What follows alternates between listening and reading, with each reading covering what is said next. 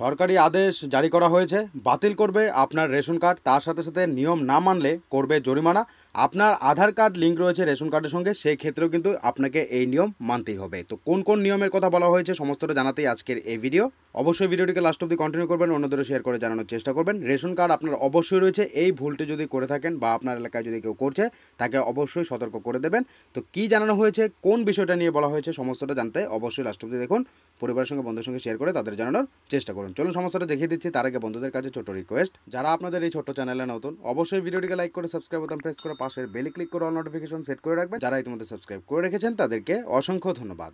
তো কি বলা হয়েছে? দেখুন, বলা হচ্ছে রেশন কার্ড নিয়ে বেশ কিছু ক্ষেত্রে কয়েকটি শর্ত দিয়ে রেশন কার্ড স্যারেন্ডার করার নিয়ম দেওয়া হয়েছে। এই নিয়মগুলো অগ্রাহ্য করলে আপনাকে বিপদে পড়তে হতে পারে, এমনকি ফাইন পর্যন্ত গুনতে হতে পারে। এছাড়াও আপনার বিরুদ্ধে আইনি পদক্ষেপও নেওয়া হতে পারে। সুতরাং যদি আপনারও রেশন কার্ড থাকে, তবে এই খবরটি আপনার জন্য অত্যন্ত গুরুত্বপূর্ণ হতে চলেছে। মিস করে গেলে বিপদে পড়তে পারেন। তো অবশ্যই অবশ্যই কিন্তু লাস্ট অব্দি দেখুন। বলা হচ্ছে, যোগ্য হয়েও রেশন পাচ্ছেন না অনেকে। দরিদ্র পরিবারগুলির জন্য ফ্রিতে রেশন পরিষেবা চালু করেছিল।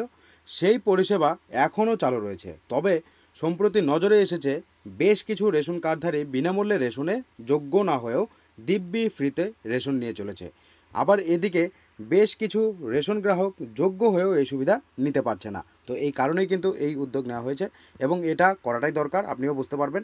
বলা হচ্ছে, সরকারের বিশেষ পদক্ষেপ তদন্তর পর নেওয়া হবে কড়া পদক্ষেপ।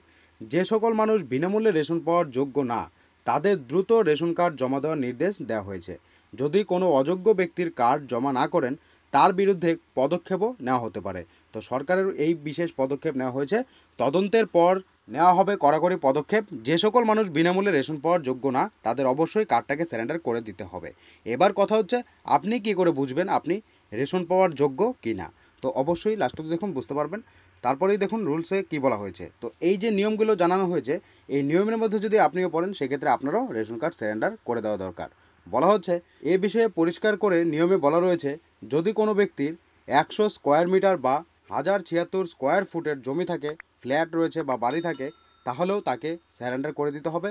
তাছাড়া গাড়ি অথবা ট্রাক্টর থাকে এবং যদি গ্রামের ক্ষেত্রে বছরে আয় দুই লাখ এবং শহরের ক্ষেত্রে বছরে তিন লাখ টাকার বেশি থাকে আয় তবে তাদের এই বিষয়ে ডিএসও অফিসে জানাতে হবে। তো আপনাকে কিন্তু অবশ্যই জানাতে হবে এই বিষয়টা। যদি আপনার এই যে ক্যাটাগরিগুলো বলা হয়েছে, এই যে নিয়মগুলো রাখা হয়েছে, এর মধ্যে থেকে যদি আপনিও পড়েন, তাহলে কিন্তু আপনাদের অবশ্যই ডিএস অফিসে যোগাযোগ করতে হবে। ঠিক আছে? তো এই কারণেই কিন্তু আপনাদের জন্য এই নিয়ম করা হয়েছে। জানানো হয়েছে, জানা গিয়েছে যে এই ধরনের ব্যক্তিদের যদি নিজেদের রেশন কার্ড স্যারেন্ডার না করেন, তবে শীঘ্রই কেন্দ্র এই ব্যাপারে পদক্ষেপ নিতে পারে। স্ক্রুটনির পরে এ ধরনের লোকেদের রেশন কার্ড বাতিল হতে পারে, পাশাপাশি আইনি পদক্ষেপও নেওয়া হতে পারে, এমনকি ফাইন পর্যন্ত দিতে হতে পারে। আপনার কাছ থেকে ফাইনও নেওয়া হতে পারে, তাছাড়া আইনি পদক্ষেপও নিতে পারে। তো সেই ক্ষেত্রে আপনাদের কিন্তু অবশ্যই কার্ডটা স্যারেন্ডার করে দেওয়া দরকার। সরকার ফ্রি রেশন স্কিমের ব্যবস্থা করেছিল। বহু পরিবার এই স্কিমের আওতায় সুবিধা পাচ্ছে। তবে এক্ষেত্রে অনেক সচ্ছল ব্যক্তিরা ফায়দা তুলতে রেশন কার্ড দিয়ে এই সুবিধা নিয়েছেন। এবার তাদেরকেই এই নিয়ে বার্তা দেওয়া হয়েছে। সুতরাং এ সকল নিয়মের মধ্যে পড়লে রেশন কার্ড স্যারেন্ডার করে দেওয়াই সঠিক কাজ হবে। এতে আপনার কি মতামত রয়েছে অবশ্যই জানাবেন। তো ভিডিওটিকে শেয়ার করে অন্যদেরও জানানোর চেষ্টা করবেন। তো যদি আপনিও এই ক্যাটাগরির মধ্যে পড়েন, তাহলে অবশ্যই একবার ডিএসও অফিসে গিয়ে যোগাযোগ করবেন। তো এতে আপনার কি মতামত রয়েছে অবশ্যই জানাবেন। ভিডিওটিকে শেয়ার করে অন্যদেরও জানানোর চেষ্টা করবেন।